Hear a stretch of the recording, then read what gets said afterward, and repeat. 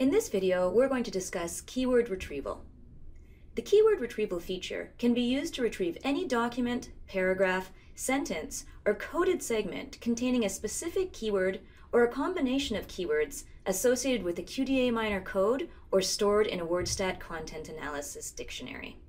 Let's get started. QDA Miner allows you to associate keywords and phrases to the codes in your codebook. You can then search for these words or phrases using the keyword retrieval tool. Let's add some keyword search terms to the code globalization. Select the code and right-click your mouse. Then scroll down to the Edit Code menu item.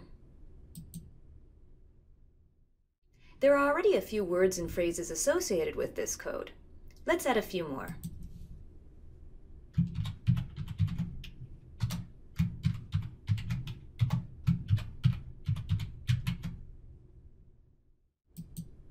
Let's perform a keyword retrieval on those words. Select Retrieve and scroll down to Keyword Retrieval.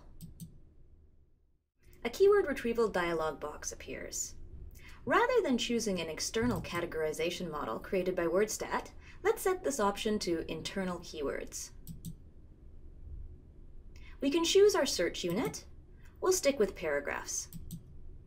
From here, we'll search for keywords associated with the code globalization.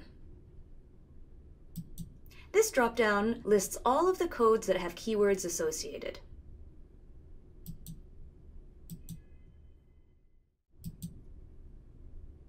With the keyword retrieval feature, the QDA Miner codebook acts as a container for a content analysis dictionary, allowing you to perform basic content analysis without WordStat though WordStat is still required to perform text preprocessing, lemmatization, exclude words, or create disambiguation rules.